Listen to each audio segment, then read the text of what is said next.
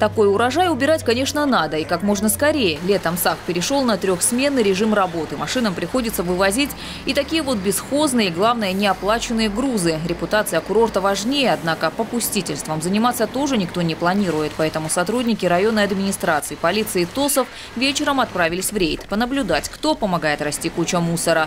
Вот и первый нарушитель. Она смело идет через дорогу и верной рукой кладет мешок под дерево.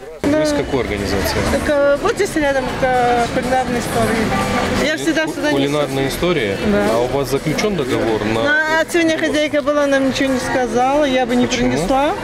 Ну, это ее дело, мое дело, что она мне скажет, что и делает. На все вопросы ответ один. Сотница обычная. Мне Как сказали, вот так можно? делайте, вот так я делаю. Если сотрудникам заведений надо напоминать, куда выбрасывать мусор, в районной администрации это готовы сделать. Выдается лицу уведомление, приглашается на комиссию и составляется протокол.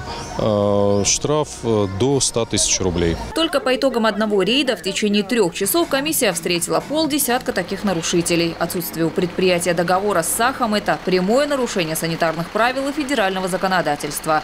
Ведь мусор из заведения все равно куда-то выбрасывают. Такие же рейды комиссия проведет еще не раз, в том числе и на других улицах.